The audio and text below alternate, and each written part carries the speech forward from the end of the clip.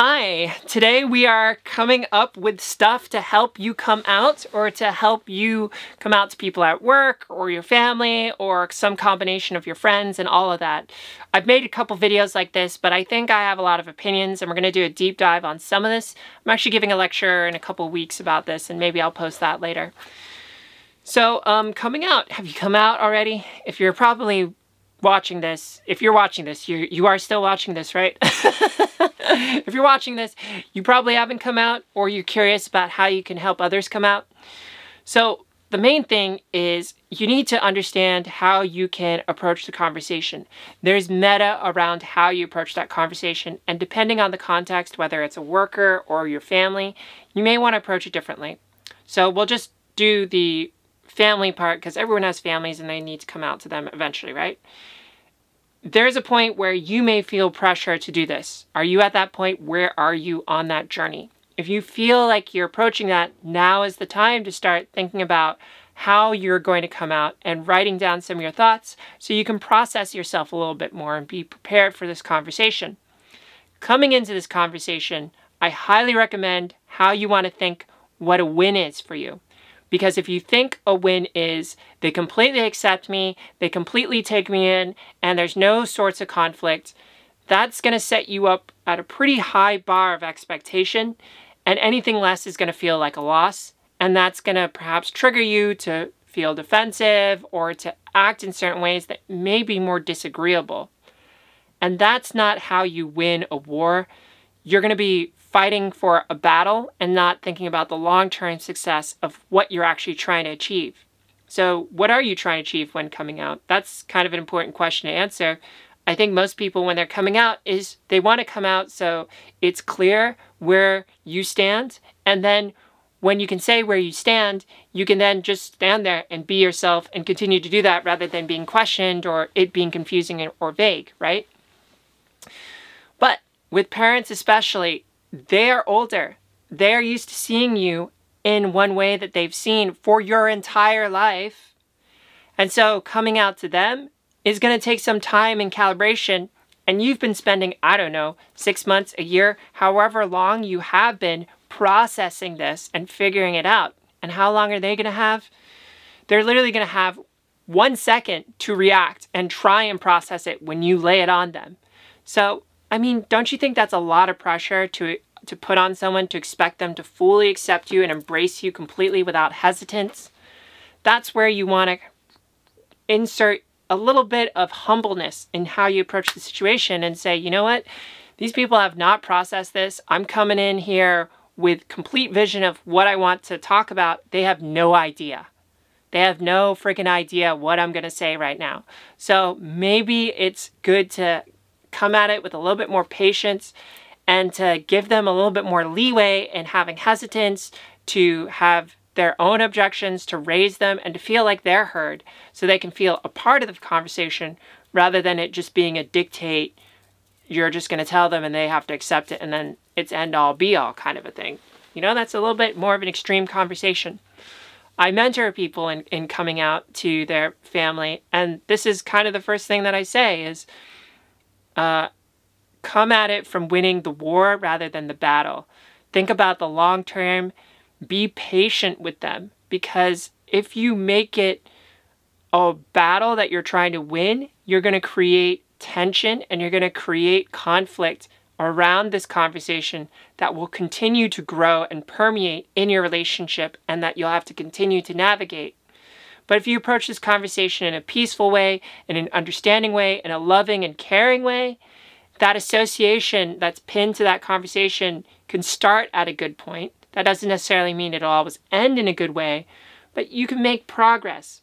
I was just talking to my friend Jem, and she was like, uh, so I started the conversation by just talking about my name and said, you know, I don't think you've been using my name properly. And I haven't seen you try hard about that. And I was wondering if we could talk about that.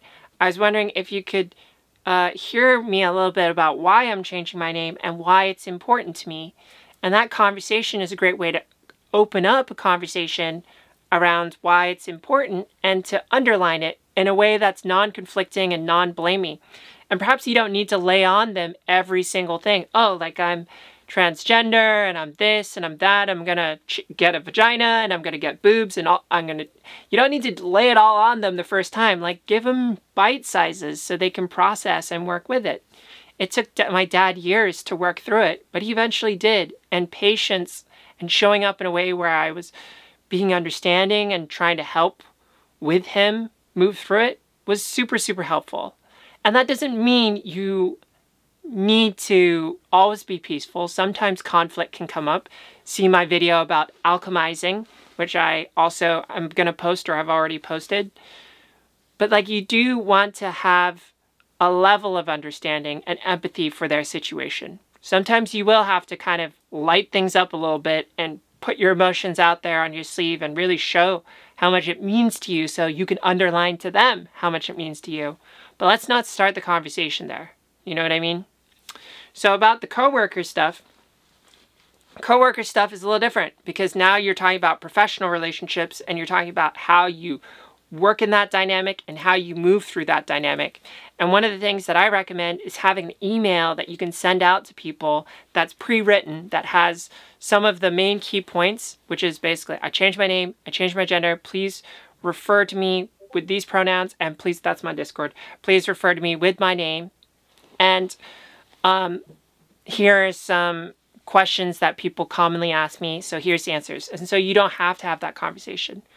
But I wouldn't do that first because that feels like a lot and that feels like a lot of pressure. I would probably just have one-on-ones with your manager and, some of the people that you directly work up, work with. Just be like, hey, I, I don't know how to tell you this, but I'm I'm transgender and I realize that I need to come out at work and start changing how I present and how I dress and how I talk and how I'm referred to. I hope that's okay. I hope it doesn't change our working relationship because I really like working together and I really like working with you and I trust you, which is why I'm coming out to you and telling you this. Uh, and you're going to be seeing more change and I'm going to be talking to management and I'm going to be sending out an email later to come out to the larger company org so that everyone knows. But I wanted to tell you first. And isn't that flattering to say, I want to tell you first, I trust you, I like working with you, I love our relationship that we have. Like these are all bridge building exercises that help you build rapport and help you build allyship within your company so you have more support for what you want to do. This is another thing I'll say coming out at work. It's great to find your allies so that you have a little bit of emotional support and context at work. And I'll also flag that HR isn't necessarily your friend, but it's sometimes good to work with HR. HR treats you as a commodity and you know a resource. And so if things are not in their interest they can be kind of like assholes. So you just kind of want to dance that a little gently. Hr is not your friend. Your manager is technically not your friend. But you can navigate these things gently and uh, with their nuance where you can leverage them to really help support you I mean, I walked up to the CEO and said, "Hey, I'm trans, and uh, I noticed the bathrooms are binary. Could we like have a gender inclusive bathroom? Because right now I don't feel comfortable using the women's bathroom, and I don't feel comfortable using the man's bathroom." And he said, "Yeah, let, let's make these changes." So you know, it really just depends also on the company culture. Who else did I talk about? Oh, coming out to your friends. Same kind of deal. Use some of the tips that I used earlier compliment your friend, tell them, you know, I trust you, I love you, I like how we hang out, I want to tell you this and I don't know how to tell you this, so I'm just going to say I'm trans and this is what I want to do moving forward. I hope you're cool with it, and if you're not, I also totally understand, no pressure. You could take some time to think through it and sort through it. I mean, isn't that like a very diplomatic and soft approach rather than coming at them super hard and saying, if you don't accept me, we're not friends, and if you don't get it right now, then shit's off the table, fuck you. You know, we don't need to start there. We don't. So those are some of the main tips. There's plenty more and I'll probably post more of these. If you like this video, please like and subscribe, share it with a friend, and join our trans.club Discord community and support me on Patreon if you want to give me some money or buy me a super thanks. I'll see you in another episode soon. Bye!